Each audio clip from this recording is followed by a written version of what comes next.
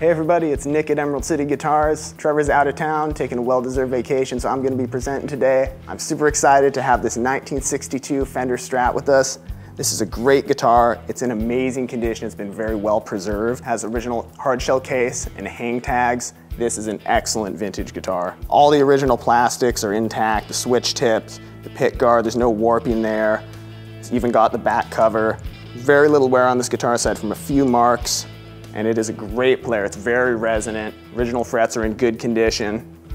This guitar has everything you want out of a vintage Strat. It's a great weight, has a really comfortable neck. I love the profile of the 62s, and they always have such crisp and responsive pickups. We're gonna hand this guitar over to Aaron Hiebert to play the demo through a Carr Super